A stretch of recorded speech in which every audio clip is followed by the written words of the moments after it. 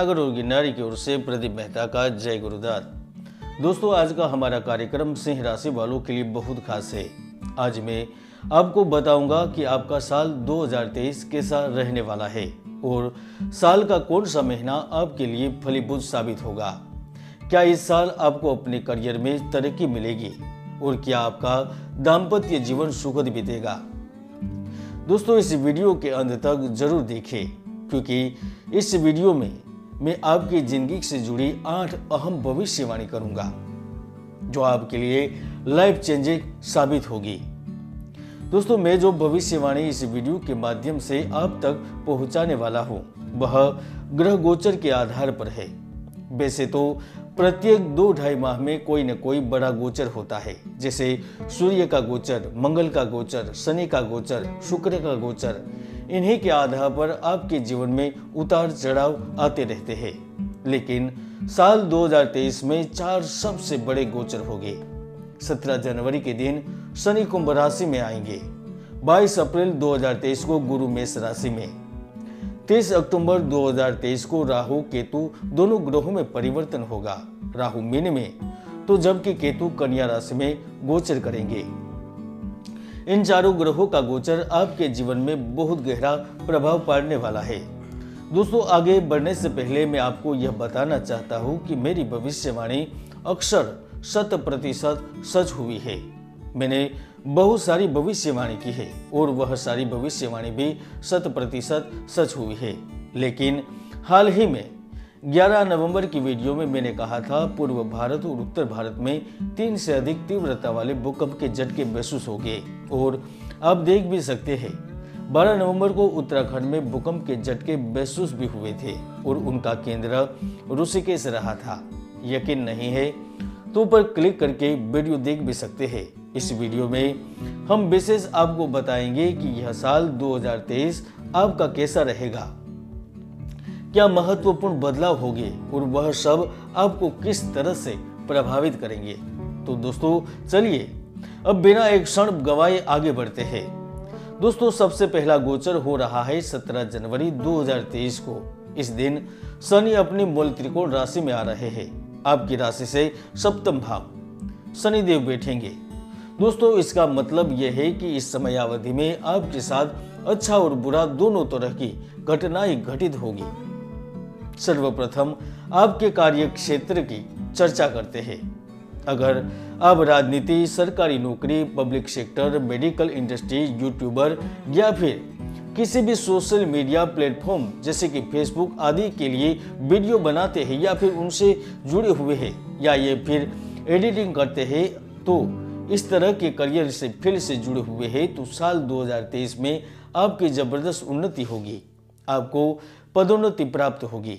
आपका आपको प्रमोशन मिल जाएगा। साथ ही आप पर कार्यबल बढ़ जाएगा। इस तरह आपको रिस्पॉन्सिबिलिटी के साथ साथ पावर भी मिलेगा। पावर में आने की वजह से आसपास के लोगों के बीच आपको प्रसिद्धि मिलेगी और मान प्रतिष्ठा बढ़ेगी। दोस्तों, करियर के लिहाज से साल 2023 आपका बहुत अच्छा रहने वाला है। दोस्तों, सप्तम भाव दाम्पत्य जीवन का भी होता है। विशेषकर जो लव कपल्स है, उनके लिए यह साल चैलेंजेस लेकर आएगा।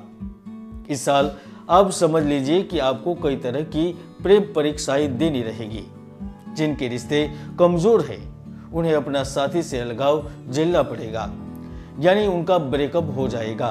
हालाँकि अगर आप सच में अपने प्यार को खोना नहीं चाहते हैं तो उसे सच में प्यार करते हैं तो आप उस उलझन को भी सुलझा लेंगे। वही अगर पति पत्नी की बात की जाए तो साल 2023 में आप दोनों के बीच भी बहुत सारी अनबन बनी रहेगी। नोकझोंक होती रहेगी। आप कह सकते हैं कि आप दोनों के बीच इस साल जरा मतभेद बने रहेंगे। सप्तम भाव में शनिदेव की मौजूदगी आपके लिए सही नहीं है। इस दौरान आपके पार्टनर का स्वास्थ्य भी खराब हो सकता है। आपकी राशि में शनिदेव की तृतीय भाव में भी दृष्टि बनी हुई है। इस वजह से आपके पार्टनर के जीवन में कई तरह के बदलाव होंगे। खासकर उनकी नौकरी के पॉइंट ऑफ़ व्यू से बात करें तो उन्हें या तो नौकरी बदलनी होगी या फिर उनका ट्रांसफ़र हो सकता है। कई तरह की मुश्किल परिस्थितियों का सामना भी करना पड़ सकता है। इसके अलावा दोस्तों, शनिदेव की सप्तम भाव में दृष्टि बनी हुई है। यह आपके लग्न राशि में आ रही है। इसलिए आपको साल के शुरुआत से ही कई तरह के हेल्थ इश्यूज़ होंगे। या फिर होने लगेंगे जैसे हड्डियों में दर्द चलने फिरने में तकलीफ़ होगी। शनि की दसवीं दृष्टि आपके चतुर्थ भाव में पड़ रही है, यानी भूमि के भाव में पड़ रही है। तो इस साल आपके भूमि से संबंधित कई काम पूरे हो जाएँगे। इसमें मकान खरीदना प्रॉपर्टी खरीदना, वाहन खरीदने जैसी कुछ बड़ी और सुखद घटनाएँ शामिल हो सकती है, जिसे आप लाभ में रह सकते हैं। या ये भी हो सकता है कि आप प्रॉपर्टी बेचें या फिर अपने घर का रिनोवेशन करवाएँ।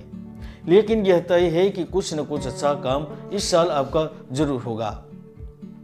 दोस्तों, इसके बाद बात करते हैं बृहस्पति के गोचर की 22 अप्रैल 2023 के बाद। जब वो मेष राशि में गोचर करेंगे तो वो नवम भाव में पहुँच जाएँगे। नवम भाव भाग्य का भाव माना जाता है।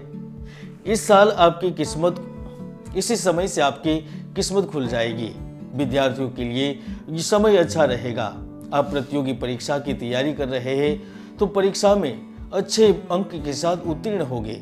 उत्तीर्ण होने की संभावनाएँ बढ़ जाएगी। साथ ही नवम में शनि की भी दृष्टि है तो आप घर से दूर किसी अच्छे कॉलेज में भी एडमिशन ले पाएँगे। या फिर विदेश जाकर भी आप अपनी पढ़ाई पूरी कर सकते हैं। आपको अपने मनपसंद कॉलेज में भी एडमिशन मिल सकता है। यह उन लोगों के लिए तो बहुत अच्छा है, जो बाहर जाकर अपने करियर को आगे बढ़ाना चाहते हैं, लेकिन उन लोगों के लिए यह सही नहीं है, जो अपने घर से दूर नहीं जाना चाहते हैं, या घर में रहकर ही अपनी पढ़ाई पूरी करना चाहते हैं। उसके साथ ही दोस्तों, इस साल आपके पिता को भी प्रमोशन मिल सकता है, या फिर वह भी विदेश जा सकते हैं। हालाँकि यह सब 22 अप्रैल के बाद होगा। गुरु की पांचवी दृष्टि, क्योंकि आपके स्वास्थ्य भाव में है तो उस, इसमें तो कुछ उतार चढ़ाव ज़रूर देखने को मिलेंगे। जैसा कि मैंने वीडियो के शुरू में ही बताया था कि साल शुरू होते ही आपको कुछ हेल्थ इश्यूज़ होंगे, लेकिन 22 अप्रैल के बाद आपकी रिकवरी होने लगेगी। दोस्तों, गुरु की दृष्टि तृतीय भाव में है। यह भाव आपके भाई बहन से जुड़ा होता है। इस साल आपके भाई बहन से संबंधित कुछ अच्छी खबरें सुनने को मिल सकती है। जिसे अगर उनकी शादी नहीं हो रही है तो इस साल उनकी शादी हो जाएगी। या फिर अगर संतान की कामना कर रहे हैं तो उन्हें संतान की प्राप्ति हो सकती है। दोस्तों, गुरु की जो नवम दृष्टि पंचम भाव पर पड़ रही है, यह आपके लिए खुशखबरी लेकर आएगा। जैसे या तो आपकी शादी हो जाएगी, या फिर आपको संतान की भी प्राप्ति हो सकती है। तीस अक्टूबर 2023 के बाद राहु का गोचर मीन राशि में होगा। साल के आखिरी दो महीने आपको पैसे कमाने के ज़बरदस्त अवसर प्रदान करेंगे। जो व्यापारी है, वे किसी कॉन्ट्रैक्ट को फाइनल करेंगे या अपने बिज़नेस को विस्तार देंगे। अगर आप नौकरी करते हैं तो भी आपको इन्वेस्टमेंट के ज़रिए बड़ा लाभ प्राप्त हो सकता है। यही नहीं दोस्तों, आपको कुछ ऊपरी कमाई के मौके भी मिल सकते हैं। कुल मिलाकर साल का आखिरी समय आपके लिए बहुत ही लाभदायक रहेगा। दोस्तों, इस सब के बावजूद कभी कभी ज़िंदगी में बहुत सारी मुश्किलें आ खड़ी होती है, जो हमारे कंट्रोल में नहीं होती है। ऐसा इसीलिए होता है क्योंकि हर व्यक्ति की कुंडली में सुयोग या दुर्योग विद्यमान रहते हैं। ज्योतिष के कई महायोग है, जो व्यक्तियों को सफलता की बुलंदियों तक पहुँचा देते हैं तो कई दुर्योग भी है, जो व्यक्ति की भरपूर मेहनत को सफल नहीं होने देते। इसीलिए कुंडली का विश्लेषण अवश्य करवाएँ। आज के लिए इतना ही। मिलते हैं नए वीडियो में। जय गुरुदत्त, जय गिरनारी।